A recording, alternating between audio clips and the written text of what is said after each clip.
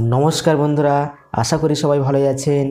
বন্ধুরা, আজকে আমি একটি অত্যন্ত গুরুত্বপূর্ণ বিষয় নিয়ে আলোচনা করতে চলেছি, সেটা হচ্ছে জ্বর ফিভার হোয়াট ইজ ফিভার অর্থাৎ জ্বর কি? জ্বর কেন হয়? এবং জ্বরের কোন কোন লক্ষণে কোন কোন হোমিওপ্যাথি মেডিসিন এবং বায়োকেমিক মেডিসিন এফেক্টিভলি কাজ করে, সেই সম্পর্কে আপনাদের অবগত করার চেষ্টা করব। তো বন্ধুরা, আশা করি ভিডিওটি আপনারা সম্পূর্ণ দেখবেন এবং এ- সম্পর্কে একটি পরিপূর্ণ নলেজ লাভ করবেন। তো চলুন বন্ধুরা, শুরু করা যাক। বন্ধুরা, প্রথমেই আমরা জানার চেষ্টা করব, জ্বর কি? হোয়াট ইজ ফিভার এবং জ্বর কেন হয়?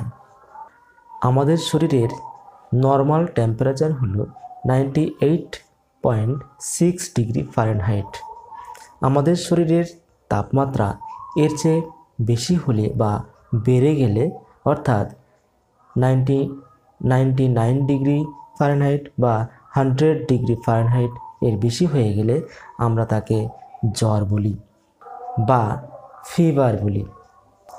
এই তাপমাত্রা একশো থেকে একশো এক, একশো দুই, একশো তিন, একশো চার, একশো পাঁচ পর্যন্ত উঠে গেলে তাকে আমরা হাই ফিভার বা উচ্চ জ্বর বলে থাকি, যা আমাদের শরীরের পক্ষে কিন্তু মোটেই ভালো লক্ষণ নয়।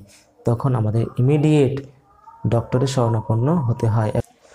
তবে জ্বর কোনো অসুখ বা ডিজিজ নয়। জ্বর হলো একটি সিমটম বা লক্ষণ। আমাদের শরীরের অভ্যন্তরে কোনো ইনফ্লামেশন হলে বা কোনো ভাইরাল ব্যাকটেরিয়াল বা ফাঙ্গাল ইনফেকশন হলে আমাদের শরীরের ইমিউনিটি সিস্টেম বা ইমিউন পাওয়ার এর বিরুদ্ধে লড়াই করতে গিয়ে আমাদের শরীরে প্রথমে যে সিমটমস বা লক্ষণ প্রকাশ করে, সেটাই হলো জ্বর।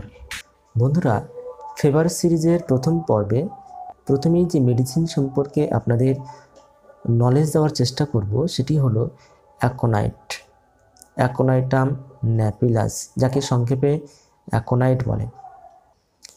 বন্ধুরা, জ্বর যে কারণেই হোক না কেন, অর্থাৎ ভাইরাল, ব্যাকটেরিয়াল বা হঠাৎ ঠান্ডা লেগে যে কারণেই জ্বর হোক না কেন, জ্বরের প্রথম পর্যায়ে যে মেডিসিনটি চমৎকার কাজ করে সেটি হলো এই অ্যাকোনাইট।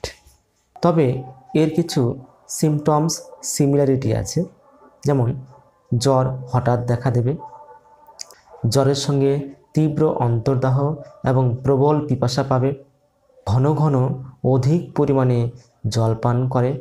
প্রবল শীতবোধ, পালস রেট ভেরি হাই। মিনিটে একশো চল্লিশ, একশো পঞ্চাশ বার। রোগী যন্ত্রণায় ছটপট ছটপট করে, বারে বারে এপাশ ওপাশ গড়াগড়ি খায়। একশো ডিগ্রি ফারেনহাইট বা একশো এক ডিগ্রি ফারেনহাইট জ্বর সব সময় থাকে। জ্বর যেন কিছুতেই নামতেই চায় না। চর্মশুষ্ক, খসখসে, বিন্দুমাত্র ঘাম হয় না। জ্বর বিকারে রোগী প্রলাপ বকে না। সেই সঙ্গে থাকে প্রবল মৃত্যু ভয়।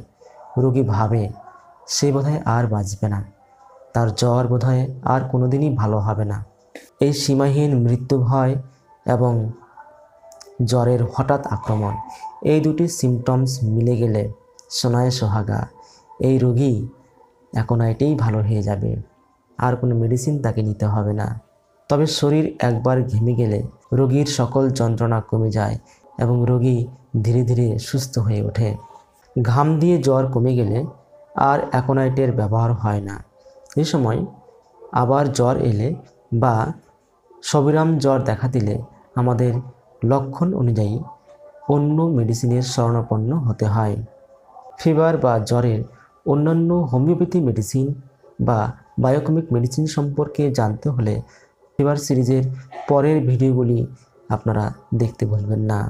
বন্ধুরা, ভিডিওটি ভালো লাগলে লাইক করুন।